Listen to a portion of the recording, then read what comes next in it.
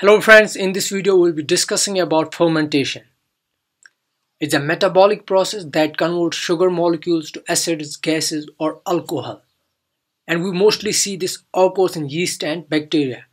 But it also occurs in oxygen-starved muscle cells as in case of lactic acid fermentation that causes fatigue and all other things.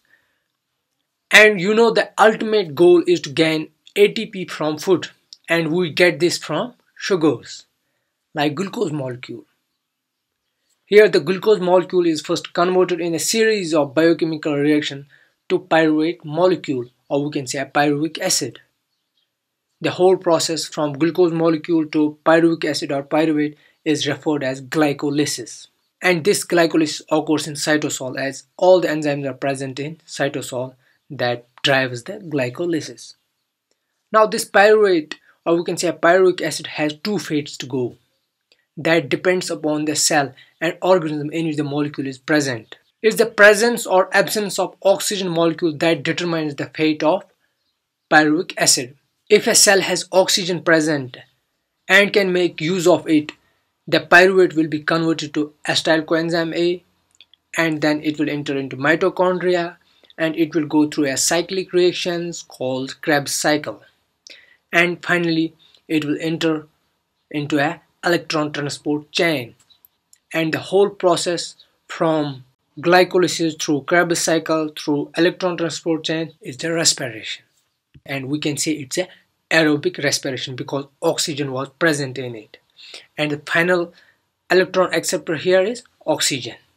Now the other way of pyruvate molecule is where the cell is deprived of oxygen or it cannot make use of oxygen molecule.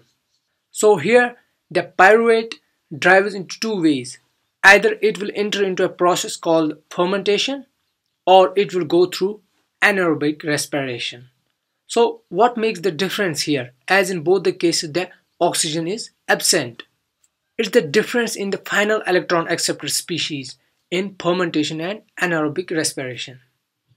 As in case of fermentation, the final electron acceptor is organic substance like lactic acid or ethanol. Whereas in case of anaerobic respiration, the final electron acceptor is inorganic substance like nitrate, sulfate, but not oxygen like in case of aerobic respiration where final electron acceptor is oxygen. The fermentation process is of two types on the basis of final electron acceptor. If the pyruvate molecule is converted into lactate, we call it a lactic acid fermentation. Here the pyruvate from glycolysis undergoes a simple redox reaction forming lactic acid. It occurs in some kinds of bacteria such as lactobacilli and some fungi. It's this type of bacteria that converts lactose into lactic acid in yogurt, giving it a sour taste. And in the same way, if the pyruvate is converted into ethanol, we call it alcoholic fermentation and in that case there is the production of ethanol as well as the production of carbon dioxide as a byproduct. Now let's take a look into the differences between respiration process and the fermentation. If we see the fermentation process first, we see the final electron acceptor in electron transport chain is organic molecule like lactic acid or ethanol as we have already discussed it in the previous part. And in case of anaerobic respiration, which proceeds without oxygen, the final electron acceptor is inorganic substance in ETC, like nitrate, sulfate, but never an oxygen. And in case of aerobic respiration, which proceeds in presence of oxygen molecule, here the final electron acceptor is oxygen molecule itself in electron transport chain. So which molecule donates electron in fermentation process?